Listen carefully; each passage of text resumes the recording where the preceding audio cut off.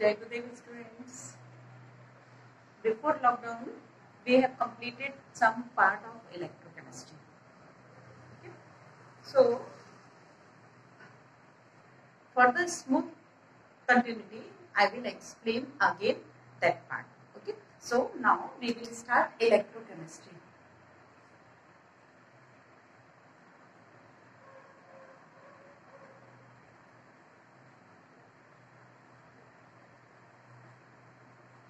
Electrochemistry. Electrochemistry means something related to electricity. Okay. So when electricity flow, so what type of chemical changes occurs or if chemical reaction happens, so is there any electricity produced? Okay. All the things we will study in this chapter. First.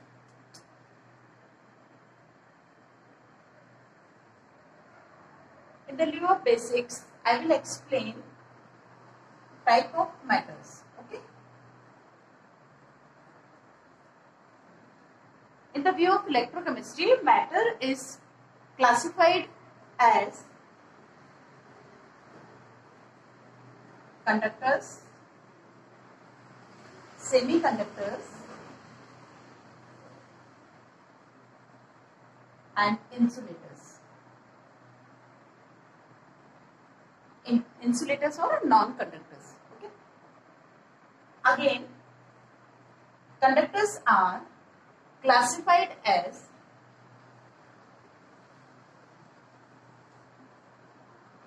electronic conductor and second is electrolytic conductors. Okay. Electronic conductor and electrolytic conductors.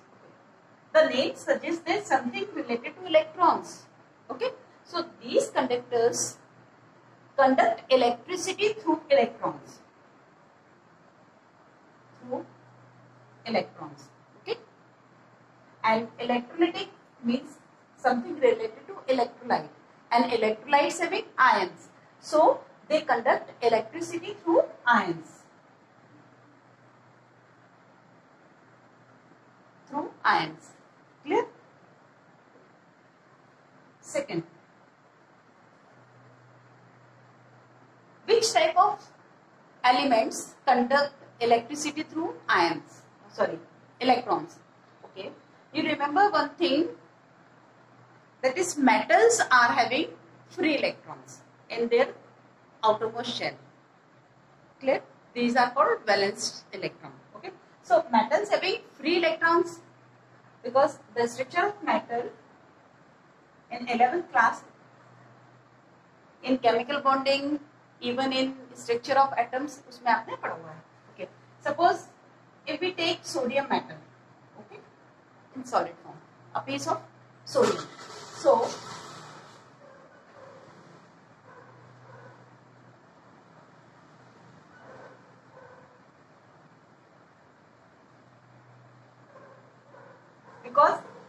sodium is exist in solid state.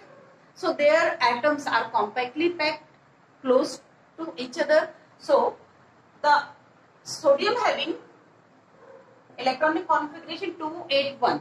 Okay. So this electron is called valence electron. You know very well.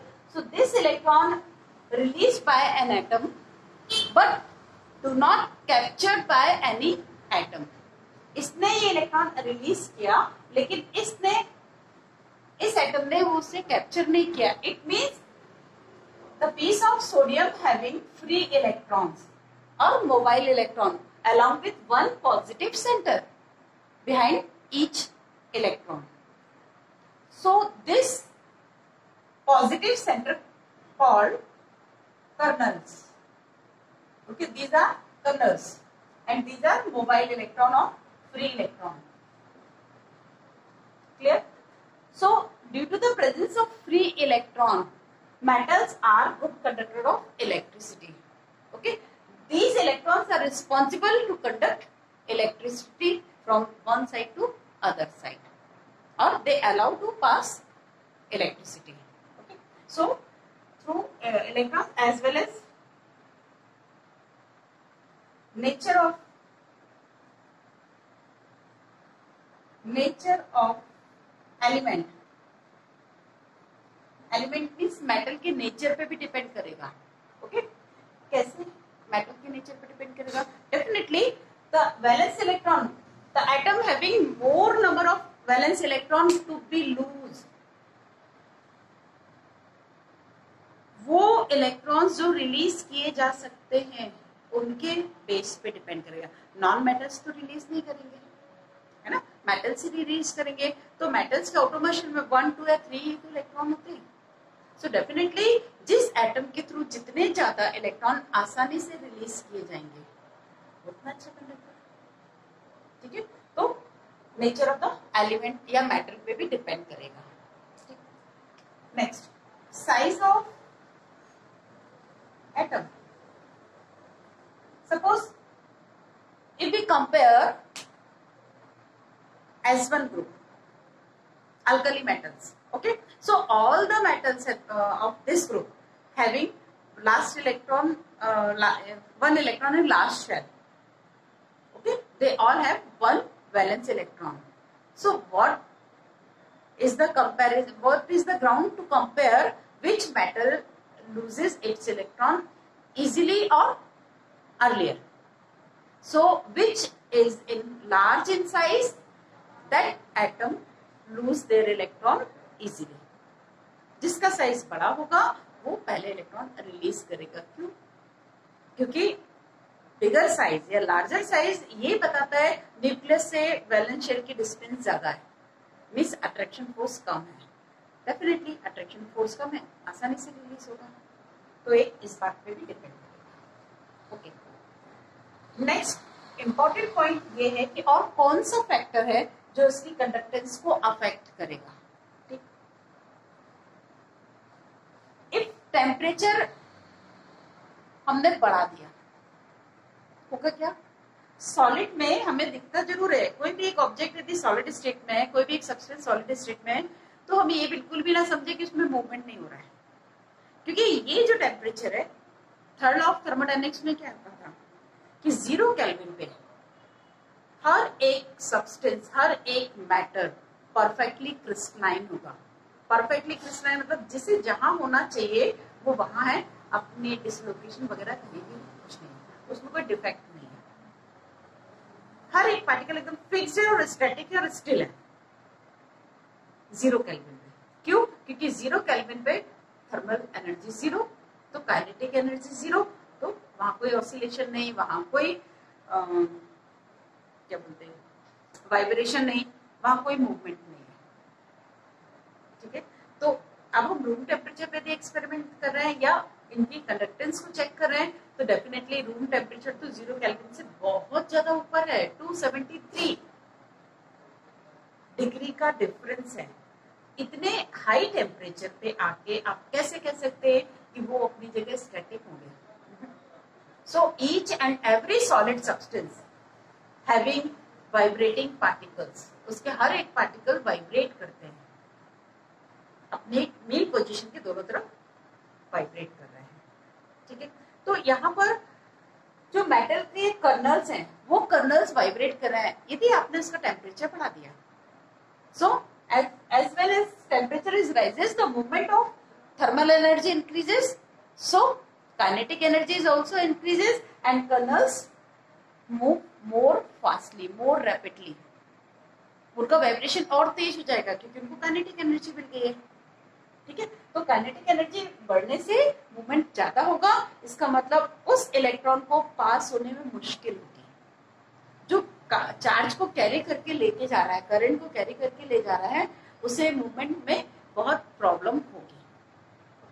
ठीक है? आपको यदि बोलते हैं यहाँ पूरे एक settled सब कुछ बच्चे बैठे हुए हैं। आप क्लास के एक कॉर्नर से दूसरे कॉर्नर तक मूव करो। एक सिचुएशन ये है। सेकेंड सिचुएशन ये है, जब हमने बच्चों को कमांड दे दिया कि अब आप लोग रेंडमली यहाँ वहाँ घूम सकते हो। और अब आपसे बोल रहे हैं कि आप यहाँ से वहाँ तक जाओ। तो डेफिनेटली जहाँ मोशन ज़्यादा है रेंडम है, वहाँ आप इस कॉर्नर से उस कॉर्नर में जाने में आपको प्रॉब्लम होगी। वहाँ रेजिस्टेंस हो रहा है। रुकावट हो रही है। आपको जाने नहीं मिल पा रहा है। Same well kernel vibrates rapidly और speedly so electrons having resistance to move okay so क्या होगा? कंडक्टेंस रिड्यूस हो जाएगी। सो इन इलेक्ट्रॉनिक कंडक्टर्स और we can say metallic conductors also okay the other name for electronic conductor is metallic conductor also so on rising the temperature the conductance of metallic conductor is reduces. Okay come this side. Electrolytic conductors they conduct electro electricity uh, through ions.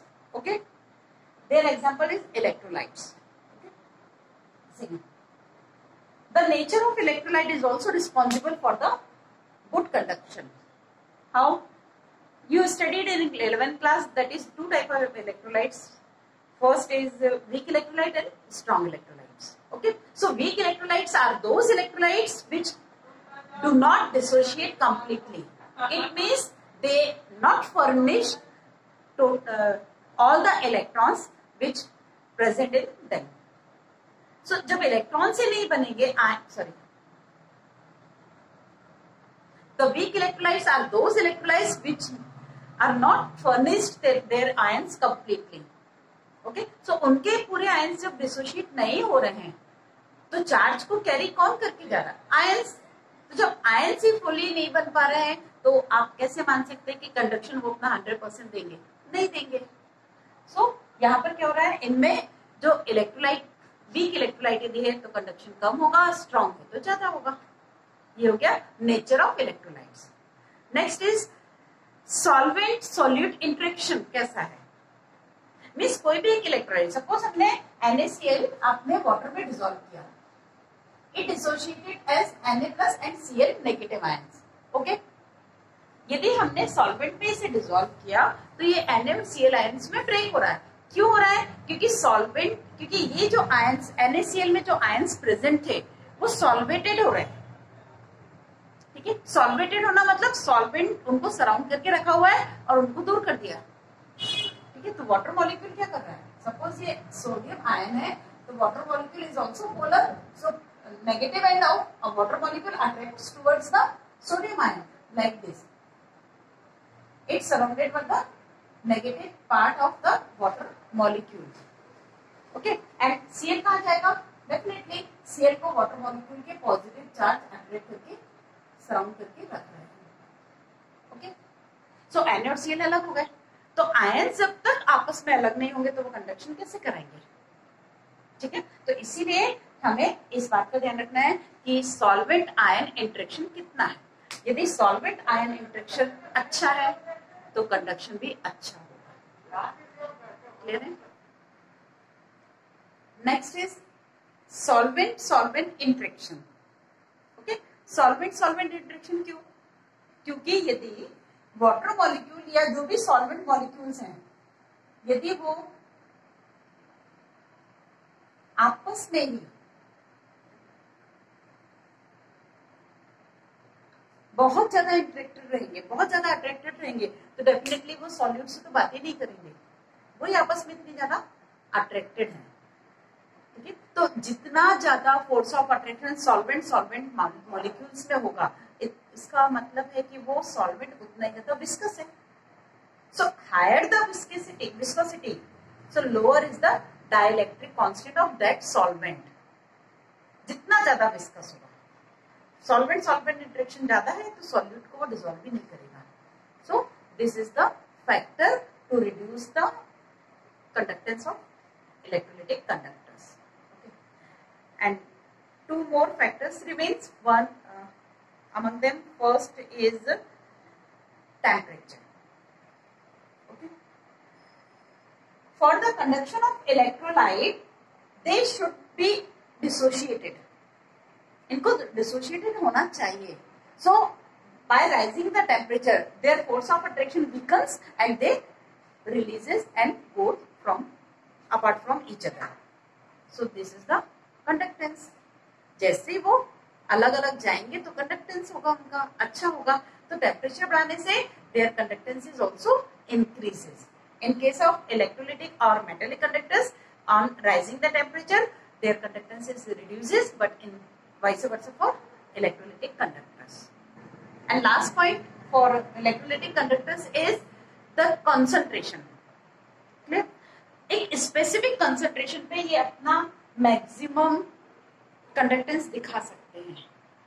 But as soon as you want to increase the concentration यदि आप सोच रहे हैं कि और concentration बढ़ा दें, और सोल्यूट मिला दें तो बहुत अच्छा कंडक्टेंस और ज़्यादा मिलेगा। नहीं, एक पर्टिकुलर कंसेंट्रेशन के बाद उनकी कंडक्टेंस नहीं बढ़ेगी। वो इसलिए क्योंकि वो पार्टिकल्स आपस में, वो आयंस आपस में एक दूसरे को फिर से बाइंड अप करने लगेंगे। हम तो उन्हें तोड़ना चाह रहे थे, लेकिन एक पर्टिकुलर एरिया में नंबर ऑफ़ आयंस बढ़ने से, वो एक दूसरे को आगे बढ़ने से रोकेंगे। कंडक्टेंस नहीं करने देंगे। मूवमेंट रिस्ट्रिक्टेड होगा उनका। तो कंडक्टेंस फिर डिक्रीज हो जाएगी। Okay so all these the factors to affect the conductance of electrolytes और मेटेलिक कंडक्टर्स क्लियर है?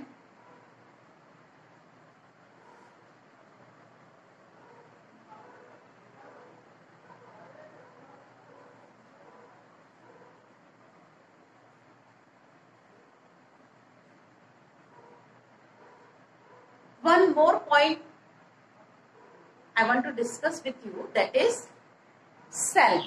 Okay, you heard about the cell. You know what are cell? Cell क्या होते हैं सेल दो तरह के होते हैं क्लियर आप ये सोचते हैं ना कि जो बैटरी है मतलब जो सोर्स है वही सेल होता है नहीं दो सेल होते हैं आपके सिलेबस में दोनों सेल हैं है first is electro chemical cell. Okay? And second is electro lytic cell. Electrochemical cell है इलेक्ट्रोलिटिक सेल ये दो तरह के आपको सेल पढ़ने हैं। क्या डिफरेंस है इनमें? हम ये देख लेते हैं। First when a chemical reaction occurs, so chemical energy is converted into electrical energy. Okay, here chemical energy is converted into electrical energy.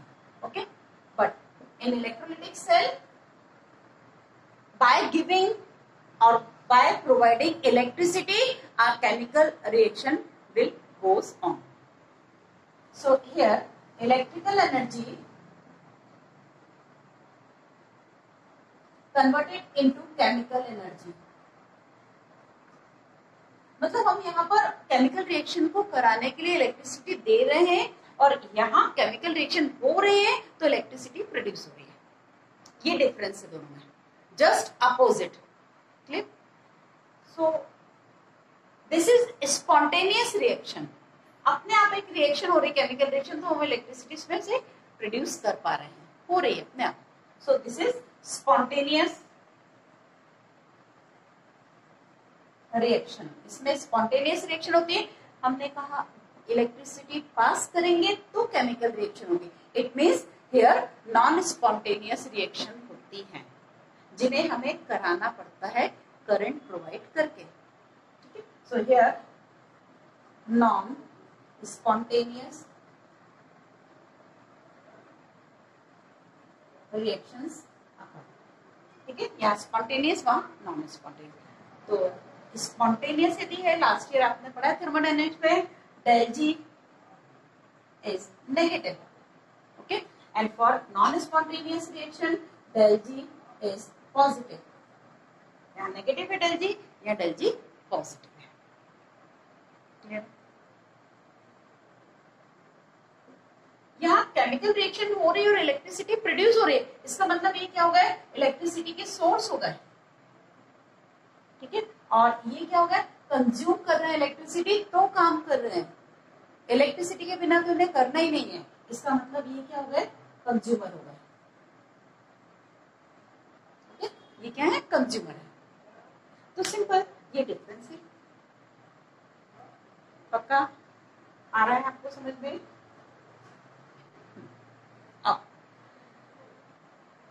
हम इस पार्ट को पहले पढ़ेंगे। आपका इलेक्ट्रोकेमिस्ट्री चैप्टर दो पार्ट में डिवाइडेड है। फ़र्स्ट पार्ट में हम सोर्स की बात कर रहे हैं, या वो डिवाइस जो इलेक्ट्रिसिटी प्रोड्यूस कर रहा है, और सेकेंड पार्ट में हम पढ़ेंगे कि वो रिएक्शंस या वो सेल जिनमें हम करंट देते हैं तो होते हैं। थोड़ा सा आपको लग रहा होगा ना कि ये कैसा है सर हम करंट दे रहे हैं और सेल कह रहे हैं। आपको याद दिला रहे हैं, आपने पहले से पढ़ा हुआ और सबको पता है। देखिए, आपने कभी एक डायग्राम देखा है टेंथ में?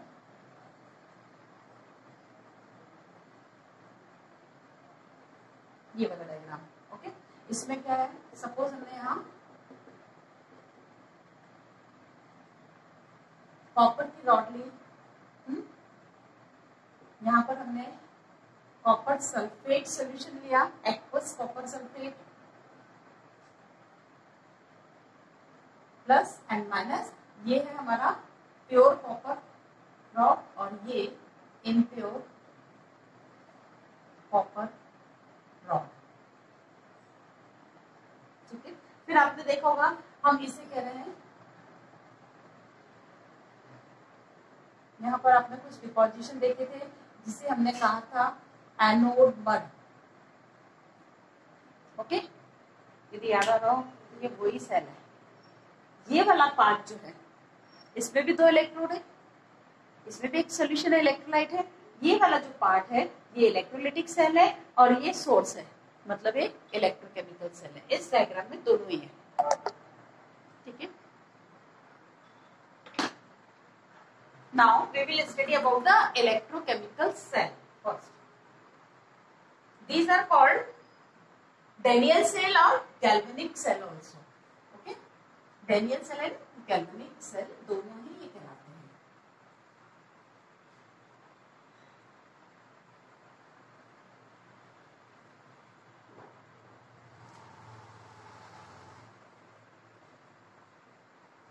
electro chemical cell.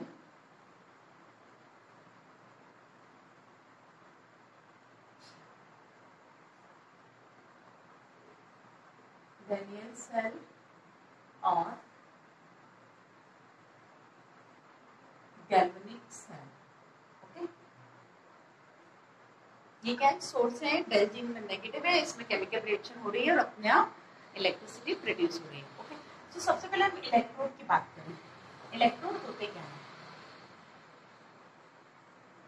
जैसे हमें इलेक्ट्रोड कोई बोलता है तो एक रॉड लग की याद आती है कि एक रॉड होगी, उसको अपन इलेक्ट्रोड बोल रहे हैं। नहीं, हम बहुत सही नहीं है रॉड तो है बट वो पूरा इलेक्ट्रोड नहीं है। तो किसी भी एक इलेक्ट्रोड का construction electrolytic conductor and electronic metallic लिख देती हूँ मैं आपको। मेटेलिक कंडक्टर इन दोनों से एक सिंगल इलेक्ट्रोड बनता है। इलेक्ट्रोकेमिकल सेल के इलेक्ट्रोड की बात कर रहे हैं, ठीक है? कैसे? ये दोनों कैसे लेंगे? सिंपल सी बात है। आप ये मेटल ले लीजिए। मेटलिक कंडक्टर हो गया। और उस मेटल की रॉड को आप उसी मेटल के आयन के सोल्यूशन में डिप कर दीजिए। तो ये एक सिंगल इलेक्ट्रोड बना ओके? दिस इज़ इलेक्ट्रोड एक सिंगल इलेक्ट्रोड बनेगा। क्लियर है? मेटल का रॉड जिस मेटल का रॉड ले रहे हो, उसी का आपको आयनिक सोल्यूशन भी लेना पड़ेगा। फॉर एग्ज़ाम्पल कॉपर की रॉड कॉपर सल्फेट में डिप कर दीजिए जिंक की रॉड जिंक सल्फेट में आयरन की आयरन सल्फेट में सिल्वर की सिल्वर नाइट्रेट में, इस तरह से हम इसके कॉम्बिनेशन लेते हैं। ठीक है?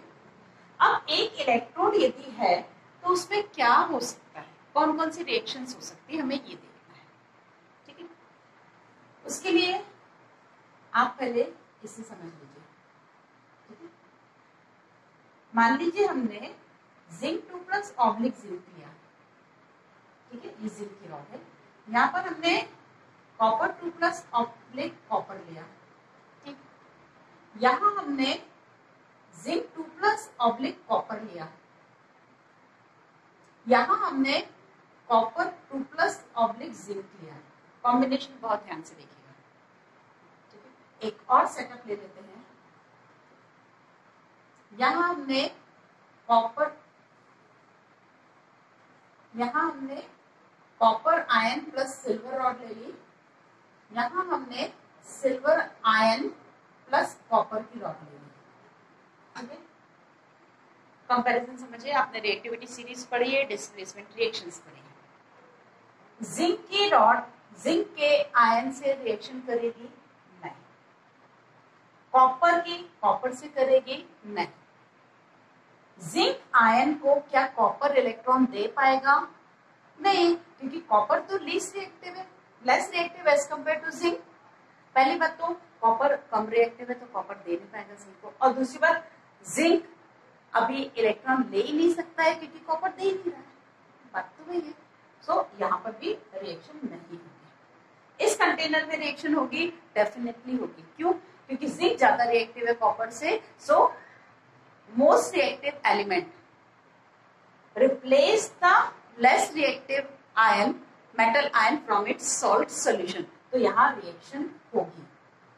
मतलब जिंक सोल्यूशन में जाएगा और कॉपर डिपॉजिट होगा। इधर आइए। सिल्वर और कॉपर को कंपेयर करें तो कॉपर ज़्यादा रिएक्टिव है। सिल्वर कम रिएक्टिव है तो it can't able to give electrons to copper so here reaction does not happen. And in this case copper is highly reactive as compared to silver so it will able to give electron and it releases the electron so here the reaction is happen ठीक है तो इन सब में आपने देखा यहाँ reaction हो रही है यहाँ रिएक्शन हो रही है ठीक है अब आप एक कंसेप्ट नहीं बैठाएँगे कि कॉपर ही हमेशा इलेक्ट्रॉन लेगा नहीं जिंक के साथ था तो ले लिया यहाँ पर सिल्वर के साथ है तो दे दिया उसने। मतलब कोई भी एक एलिमेंट इलेक्ट्रॉन दे भी सकता है और ले भी सकता है। इलेक्ट्रॉन का रिलीज़ करना ऑक्सीडेशन है ना? if any atom releases electron so it it is called oxidation और it is oxidized. And when any atom gains electron और एलिमेंट कोई भी ऐसा जो इलेक्ट्रॉन ले रहा है मतलब वो रिड्यूस हो रहा है। तो रिडक्शन में gain of electron and oxidation में क्या होता है? लॉस ऑफ़ इलेक्ट्रॉन होता है। तो आप यहाँ देख रहे हैं कॉपर इलेक्ट्रॉन ले भी रहा है कॉपर इलेक्ट्रॉन दे रहा है। मतलब किसी भी मेटल का ऑक्सीडेशन भी हो सकता है और रिडक्शन भी हो सकता है। ठीक? तो यहाँ पर हमारे पास पॉसिबिलिटीज कितनी मिल रही है? यहाँ तो हमें दोनों पॉसिबिलिटीज मिलेंगी। और तीसरी पॉसिबिलिटी क्या कोई रिएक्शन नहीं। तो हम ये डिफरेंट के कॉम्बिनेशन में चलते हैं। तो कॉम्बिनेशन में जब आप आओगे तो फ़र्स्ट ये होगा कि मेटल यदि इलेक्ट्रॉन रिलीज़ कर दे तो मेटल आयन बन जाएगा। सेकेंड पॉसिबिलिटी ये हो सकती है कि मेटल आयन यदि इलेक्ट्रॉन गेन कर दे तो मेटल एटम में कन्वर्ट हो जाएगा। सिंपल ये दो पॉसिबिलिटीज है ना। तो ये क्या हो रहा है? ऑक्सीडेशन और यहाँ क्या हो रहा है? रिडक्शन इधर रिडक्शन और इधर ऑक्सीडेशन हो रहा है। ठीक है। मान लीजिए यहाँ ऑक्सीडेशन हो रहा है। इसका मतलब मेटल की रॉड से मेटल आयन बाहर आ रहे हैं और इलेक्ट्रॉन रॉड पे एक्यूमुलेट होते जा रहे हैं। तो एक उस सिचुएशन को देखिए जब रॉड पे इलेक्ट्रॉन्स हैं और इसके सराउंडिंग में पॉजिटिव आयंस आ गए, क्योंकि due to opposite charge they attract each other okay and they try to come closer it means here we have clearly seen that the two opposite charge layer directly contact with each other. So, definitely potential will be arised. दो opposite charge की layer जब भी direct contact में होती है तो वहाँ potential develop होता है। ये पोटेंशियल किससे हुआ? ऑक्सीडेशन से हुआ। So we will call it oxidation potential and vice versa for reduction potential oxidation से जो पोटेंशियल डेवलप होगा, उसे हम ऑक्सीडेशन पोटेंशियल कहेंगे। अदरवाइज़ रिडक्शन पोटेंशियल तो होना ही है। इट मीन हम ये कह सकते हैं कि हर एक मेटल का ऑक्सीडेशन और रिडक्शन पोटेंशियल दोनों मिलते हैं। ये इस बात पे डिपेंड करेगा कि वो मेटल किसके साथ कपल कर रहे हैं अपन यदि उस मेटल को हमने हाईली रिएक्टिव मेटल के साथ कपल किया हुआ है तो डेफिनेटली इस मेटल का तो रिडक्शन होना ही है और उसका हमें रिडक्शन पोटेंशियल मिलेगा। क्लियर है? और अगले का हमें ऑक्सीडेशन पोटेंशियल मिलेगा। इतना क्लियर होते जा रहा है आपको? ठीक है। अब हम डेनियल सेल या गैल्वेनिक सेल के स्ट्रक्चर की बात कर रहे हैं। ठीक है? तो उनका स्ट्रक्चर देखने के लिए हम एक वर्ड तो याद कर लेंगे loan okay loan left hand side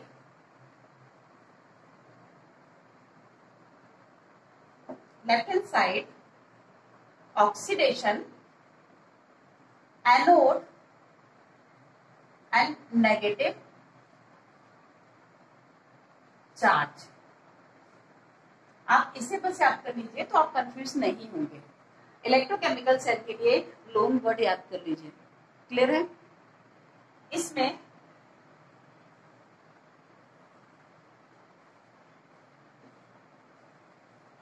ये एक सॉल्ट ब्रिज है।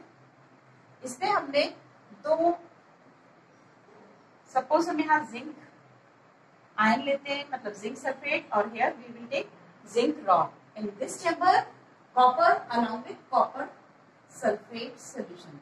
Okay, copper sulfate solution and join with the metallic wire and intermediate of the wire we connect voltmeter or any device to check the whether current is flowing or not. Okay, this is salt bridge. Okay. The end of the salt bridge is dipped should be dipped in? Solution. Okay. So, here, what reaction is, this is salt bridge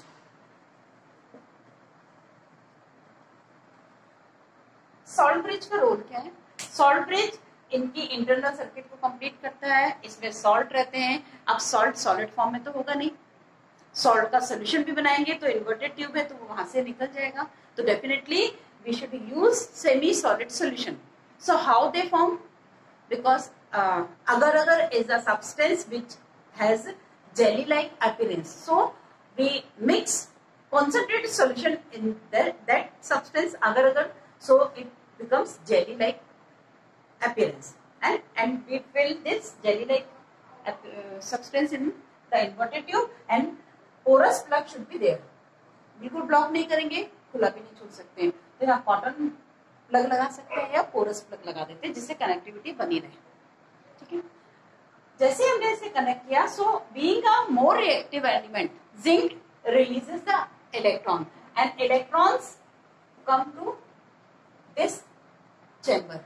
And here copper ion gets the, these two electrons and as copper. Here zinc metal releases two electron and form zinc 2 plus.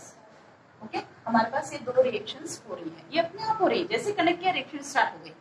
अपने आप हो रही है। Okay तो this reaction ये क्या है? Oxidation कहा हो रहा है? लेफ़्ट हैंड साइड पे हो रहा है। इसको हम कहेंगे एनोड और जब ये इलेक्ट्रॉन रिलीज़ हो रहे हैं तो ये नेगेटिव पोल बन रहा है and it becomes positive pole okay so loan clear हो गया आपको? ठीक है, इस तरह से ये या सेटअप में लगाते हैं। तो साउथ बीच का फ़र्स्ट तो ये हो गया कि उसने इंटरनल सर्किट कंप्लीट किया सेकंड और क्या होता है? सेकंड ये काम है उसका कि जैसे जैसे जिंक आयन यहाँ आ रहे हैं तो ये चैम्बर पॉजिटिव हो जाएगा और इक्विलिब्रियम आ चुकी है। तो ये रिएक्शन फॉरवर्ड डायरेक्शन में बढ़ाना हमें होगी नहीं, रुक जाएगी। तो यहाँ से इसमें हम इनर्ट सॉल्ट लेते हैं। सपोज़ हमने केसीएल ले लिया या के ले लिया तो ये इनर्ट सॉल्ट होते हैं। इनर्ट सॉल्ट क्या होते हैं? जिसके दोनों आयन की मूवेबिलिटी सेम स्पीड से उनका ट्रांसपोर्ट नंबर सेम मतलब वो एक सी स्पीड से मूव करें। तो क्या होगा? इसका नेगेटिव वाला पार्ट इधर मूव करेगा और पॉजिटिव वाला पार्ट इधर मूव करेगा। क्यों? क्योंकि यहाँ पर जिंक आयन एक्सेस में हो रहे हैं। और यहाँ नेगेटिव पार्ट आके उनको न्यूट्रलाइज करेगा।